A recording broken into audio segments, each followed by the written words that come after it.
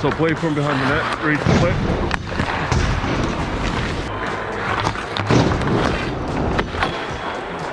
Woo! Close enough. There we go, there we go. I gotta read the hand of the guy in front, where he's at. Get to the right spot.